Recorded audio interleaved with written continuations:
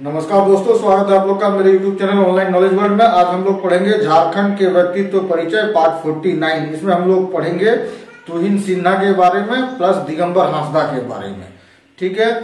Very बहुत important है exam point of view से ये दोनों। ठीक है? कहीं पे आपको दिया हुआ नहीं मिलेगा, मगर ये सब इतने इम्पोर्टेंट है।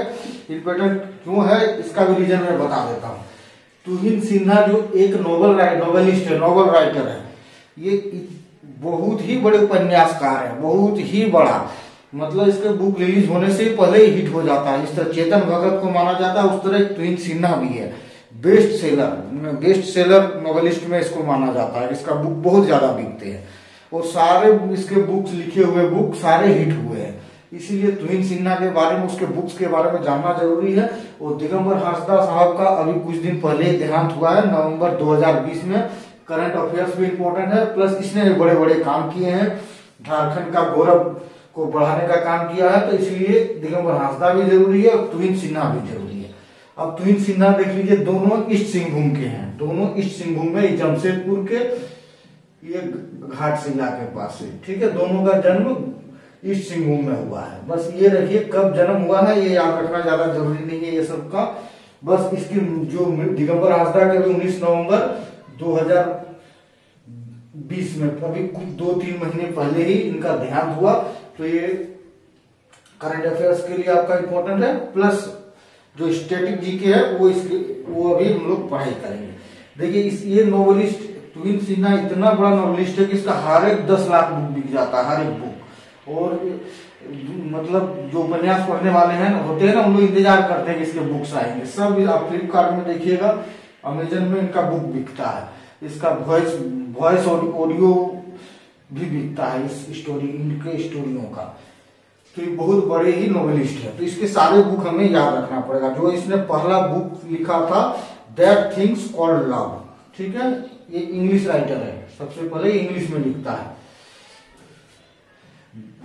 सारे याद। That things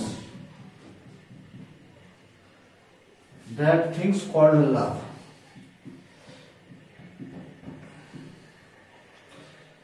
ये ये बुक का नाम है। देखिए, इसमें क्या है, इसके बुक्स को याद कैसे करेंगे, एक ही बार में याद हो जाएगा। ये दो चीज़ पे बुक उपन्यास लिखा है। एक लव पे, ठीक है, लव पे और दूसरा क्या है, क्रिकेट पे। तो ये दो वर्ड अगर आप इसके साथ जोड़ लेते हैं तो बहुत अच्छा अच्छी तरह से याद हो जाएगा। ये लव है इस इस उपन्यास बहुत ही सुपरहिट हुआ था इसका। ठीक है, इस उपन्यास इसका जो हीरो होता है, तुहिन सिन्हा जो अपने उपन्यास में हीरो बनाता है, उसका नाम जनरली मयंक रखता है, मयंक, हीरो का नाम। तो इसमें यही है, मयंक सहाय बोल के एक आदमी है जो शादी डॉट कॉम टाइप का एक मैट्रिमोनियल वेबसाइट पर काम करता है, बहुत लोगों के जोड़ा मिलाता है, मगर खुद का जोड़ा इसका मिल नहीं पाता है। ये सपनों में अपने पार्टनर को का ख्वाब देखता है, लेकिन जिस दिन इसका पार्टनर आता है तो उस समय आपको पता चलता है वो शादीशुदा है, प्लस इससे उम्र इसमें बड़ी है। तो इस समस्या के का क्या बोल, बहुत अच्छा से इसका वर्णन किया गया है दैट थिंग्स कॉल्ड लव में। ठीक है? ये बुक याद रखिए, देखो कॉमन वर्ड याद करने के लव बता दिया। उसके बाद, ये क्रिकेट का दो बुक लिखा है। ठीक है? द कैप्टन ठीक है? द कैप्टन जिसमें भारत के क्रिकेट कैप्टन सारे कैप्टन के बारे में बताया गया, तीसरा 22 यार्ड्स ठीक है 22 यार्ड्स ये यार्ड्स को हिंदी में गज बोलते हैं। तो 22 यार्ड्स बुक इसी ने ही लिखा है। इससे जीके का क्वेश्चन ये भी याद हो जाएगा, जो सर्किल होता है ना, क्रिकेट में जो सर्किल होता है, वो कितने दूरी का होता है? तो 22 यार्ड का होता है। इस ये बहुत ही अच्छे बुक्स है इस बुक्स में क्या बताया गया है कि मयंक, जो कैप्टन रहता है, ठीक है क्रिकेट टीम का टीम इसका उन्नीस मतलब जीता हुआ क्रिकेट जीता हुआ बहुत दिन हो गया है। कपिल देव वाला वर्ल्ड कप ही जीता उसके बीच में कोई वर्ल्ड कप नहीं जीता है। उस समय की कहानी है। फाइनल खेलने वाला है कल, और आज मयंक को पता चलता है कि उसके कुछ खिलाड़ी मैच फिक्सिंग कर लिया है। कुछ खिलाड़ी पता चलता है, लेकिन सारे खिलाड़ी, कौन है वो कौन कौन खिलाड़ी वो पता नहीं चलता है। तो वो मानसिक यातना में आ जाता है कि कोई न कोई मैच को जिताने के लिए ग्यारह खिलाड़ी चाहिए, मगर मैच हराने के लिए खिलाड़ी ही काफ़ी होते हैं। उस समय से पता चलता है कि मेरे कोई, कुछ खिलाड़ी बिक चुके हैं। उस समय क्या डिसीज़न लेता है ये, वही पूरे पिक्चर को मतलब पूरे उपन्यास में बताया गया है। ये उस दिन इस तरह से डिसीज़न लेता है कि समझ लो कि ये ये समझता है। मान लो कि ग्यारह खिलाड़ी है क्रिकेट में दस आदमी दस आदमी बिक चुका है। तो एक आदमी स्वयं मयंक जो कैप्टन है वो तो नहीं बिका है। तो बोलता यही से होगा कि कोई कोई भी जी, जी, कोई भी बिक जाए। लेकिन मयंक तो नहीं बिका है। मयंक उस दिन ऐसे खेल खेलता है कि अकेले मैच जिता देता है। ये मयंक जो रहता है लंगड़ा खिलाड़ी रहता है। बीवीएस लक्ष्मण और राहुल द्रविड़ टाइप का एक दो रन बनाने वाला। लेकिन उस दिन वो खेल का गियर बदल देता है और 22 यार्ड से ऊपर उछाल उछाल के बॉल मारता है। सिर्फ़ छक्का चौका से बात करता है और मैच जीत जाता है। बहुत ही सुंदर रूप से इस उपन्यास बनाया गया है। ये ट्वेंटी टू यार्ड्स हो गए, plus of love and politics. Of love and politics. Politics.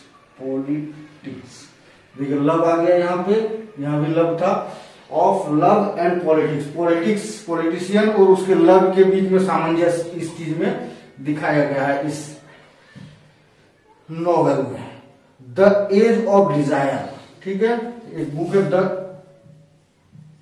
As of desire ठीक है? और इसी का एक सीक्वल है, इसी का पार्ट टू है। क्या? The edge of edge of E D G edge of power ये कहानी क्या है? एक एक लेडीज़ की कहानी है। एक लड़की का रेप हो जाता है। उसके बाद वो सीधे मतलब सत्ता के सबसे ऊँचे शिखर पर बैठ जाती है। मतलब बहुत बड़ी पॉलिटिशियन हो जाता है। तो उसी के संघर्ष की कहानी है। कि वो किस तरह से संघर्ष से निकलता है और जब वो सत्ता मिल जाती है पावर मिल जाता है तो उसकी कहानी ये है। तो ये दोनों बुक मतलब एक दूसरे का सिक्वल है। ये आपको याद रखना पड़ेगा। प्लस एक बुक इसका फ़ेमस हुआ था daddy D A daddy daddy मतलब पिता। जो पिता हो, होते हैं ना आपने सुना होगा कि बच्चे को पालने के लिए हमेशा हर एक नोवेलिस्ट या हर जगह माता का ही बहुत ज़्यादा योगदान दिखाता है कि माता पालता है, नौ महीने घर में रखता है पिलाता पिलाता है। लेकिन ये परंपरा से बाहर डैडी अपने बच्चे को कैसे पालता है, उसके लिए क्या क्या कुर्बानियाँ देता है, उस चीज़ की चर्चा किया गया। तो इस ये दुनिया से हट के एक बुक है। तो इस बुक को भी बहुत ज़्यादा प्रसिद्धि मिली। उसके बाद when the chief fall in love when the chief fall in love यहाँ भी लव आ गया, देख लीजिए। तो याद करना कोई चीज़ नहीं। इसमें क्या होता है? द चीफ देखिए, जो होता है ना, हमारा डिफेंस मिनिस्टर जो, यहाँ भी मयंक है हीरो ठीक है, हर जगह मयंक इसका हीरो मिलेगा। मयंक बन जाता है डिफेंस मिनिस्टर और उसको एक जायरा नाम की लड़की, कश्मीर लड़की से उसको प्यार है। शादी भी हो जाता और ये जायरा का जो पिता है, जायरा का पिता क्या नाम मुझे नहीं पता। जायरा का पिता सेपरेट से आतंकवादी रहता है सेपरेटिस्ट रहता है? कश्मीर का। तो उस सब सिचुएशन में शादी करता टूटता है, ये करता है। वही कहानी लिखता है when the chief fall in love ठीक है? तो यही कहने का इसका मतलब है। तो ये आपको इतना याद रखना पड़ेगा। प्लस एक इंपॉर्टेंट बुक है इंडियन एस्पायर ठीक है? बहुत ही Indian aspire Indian aspire aspire ठीक है, ये बहुत इंपॉर्टेंट बुक है इंडियन है इंडिया एस्पायर एस्पायर मतलब होता है उम्मीद करना आकांक्षा रखना. ठीक है? तो इंडिया क्या उम्मीद रखता है? ये बुक लिखा है किसने? नितिन गडकरी जो हम कैबिनेट मंत्री है, उसके साथ मिल के लिखा है. मतलब नितिन गडकरी भी इसका लेखक है और ये भी इसका लेखक है. तो इंडिया स्पाइस इसमें सौर ऊर्जा को बढ़ावा देने के लिए बायोडीजल को बढ़ावा देने के लिए बहुत अच्छी चीज़ बताए गए हैं। तो इस इस बुक को भी आप याद रखिएगा, ठीक है? क्योंकि नितिन गडकरी का नाम है तो ये इंपॉर्टेंट हो जाता है। सारे बुक इंपॉर्टेंट है, कोई भी बुक इनका छोड़ने का कोशिश ना कीजिएगा। सारे बुक में बता दिया, ये देखिए जमशेदपुर से के बाद मुंबई में शिफ्ट कर गया है। मुंबई में ये पॉलिटिशियन भी है बीजेपी का एक प्रवक्ता भी है ये, ठीक है? पॉलिटिशियन भी है। पॉलिटिक्स में भी है बीजेपी का। प्लस ये स्क्रिप्ट राइटर भी है। बहुत सारे इसके तुहिन सिन्हा का बहुत सारे सीरियल आपने देखा होगा। तुहिन सिन्हा स्क्रिप्ट राइटर है। उस बहुत सीरियल का स्क्रिप्ट राइटिंग किया है। राइटर है। जैसे ये रिश्ता क्या कहलाता है? स्क्रिप्ट राइटर यही है। प्यार को प्यार की कश्ती में एक सीरियल है, उसमें इसका स्क्रिप्ट राइटिंग मिलेगा, कोई दिल में है, बहुत सारे देखो, मगर देखो मगर प्यार से वक्त बताएगा, कौन अपना, कौन पढ़ाएगा अफसर बिटिया ये सब जितने भी बहुत सारे सीरियल है, जिसका स्क्रिप्ट राइट तुहिन सिन्हा ने लिखा है।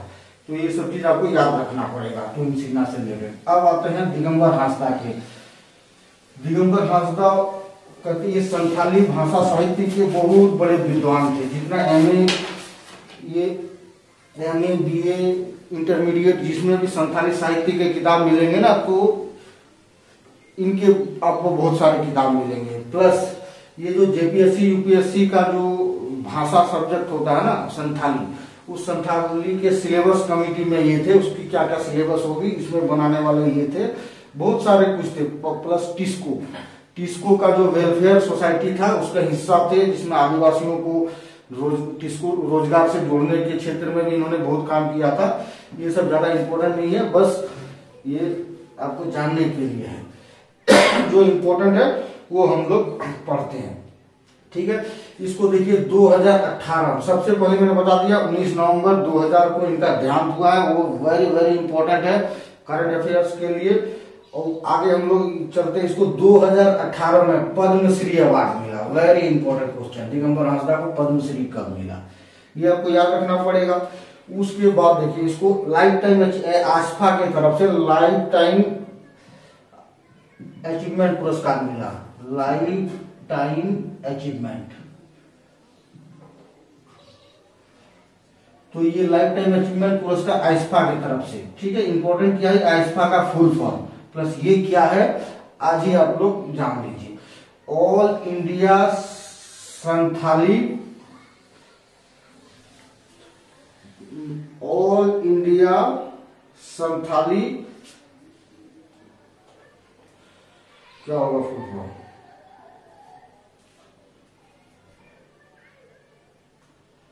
हाँ All India Santhali Film Academy ठीक है? All India Santhali Film Academy. ये जो प्राय एक संस्था है जो संथाली फ़िल्म को रेगुलेट करता है All India Santhali Film Academy. उसके तरफ़ से लाइफ टाइम अचीवमेंट पुरस्कार ये ले चुका है। और क्या इंपॉर्टेंट है, दिगंबर हांसदा एक ऐसे व्यक्ति थे जिसने कॉन्स्टिट्यूशन को, पूरा कॉन्स्टिट्यूशन को ओलचिकी में अनुवाद किया है। मतलब संथाली भाषा में जो स्क्रिप्ट होता है, ओलचिकी में अनुवाद किया है। वेरी इंपॉर्टेंट क्वेश्चन की संथाली में कॉन्स्टिट्यूशन का अनुवाद किसने किया है? ओलचिकी में तो ये बहुत ही इंपॉर्टेंट क्वेश्चन हो जाता है। उसके बाद, इसके बहुत सारे की बुक्स हैं। सारे बुक्स याद करना पड़ेगा, क्योंकि ये सिलेबस में आपको मिल जाएँगे, संथाली सिलेबस में लिटरेचर के सिलेबस में सिलेबस में। जिस तरह सरना गद्य पद्य, सरना गद्य पद्य संग्रह। किताब लिखे, पाँच किताब है शायद। दूसरा है इसका, भारतेर भारतेर लौकिक देव देवी ठीक है देव देवी ये इसके बुक है। तीसरा बुक है गंगमाला। गंगमाला